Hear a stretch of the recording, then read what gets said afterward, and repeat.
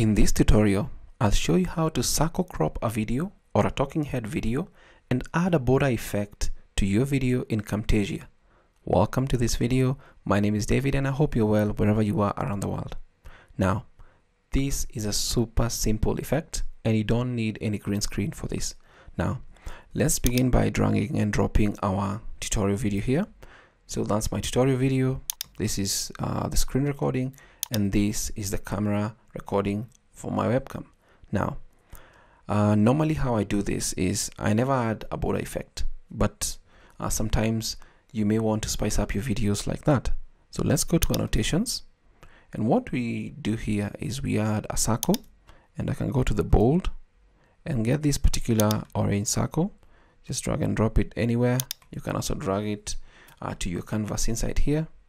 But let's just extend it to the end looks good. And then I can just press on shift to bring it down slightly and then bring it onto my webcam here hold shift again and then make it a little bit bigger. You can decrease the opacity slightly to see if your circle is in frame but I can just move it there. Uh, that's okay. Looks good. Readjust the opacity to 100% now we've done the first process. The next option so that we can add a border uh, is just copy this layer or duplicate it control C control V. And I'm using Camtasia 2020 that's why I'm not using the new duplicate functions in Camtasia 2022 but now once we do that I can just right click on this the layer that is just above the, the, the webcam footage and set it to alpha and everything else disappears. That's good and now it's up to us to just add a border to the circle on top. And this uh, we add this using the outline option. So you can just adjust the thickness. And as you adjust it let's go to a 5 or a 6 you'll see that there's a white outline being added there. So if you look at it looks really good. Now the final ingredient to give us a circle talking head with a border effect is just going to the visual effects and then just dragging and dropping the remove color visual effect onto this circle the circle that we just added a border to and then key out this particular color. Click on that. We now have a talking head with a border.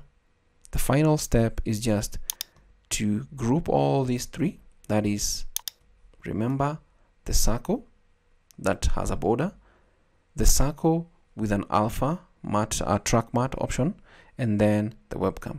Control G. And once you do that everything else disappears. Uh, that is uh, for our talking head. Therefore we need to uh, set the track matte mode to none here. And we now have that uh, for us to use. So we can actually just even do a, a quick crop. So we just work with something that's uh, just a little bit smaller. Just bring that drag it and drop it there. Uh, you can save it if you want whatever you want to do. So uh, if I now look at my video I'll just cut out this particular part. We can all see that this text is behind this uh, runner. So we have a talking head video with a border effect and that's how you can easily create or make a circle video or a circle talking head video with a border effect. No green screen required and I simply put it out there. Go and try it out. See if it works for you. Thanks so much for watching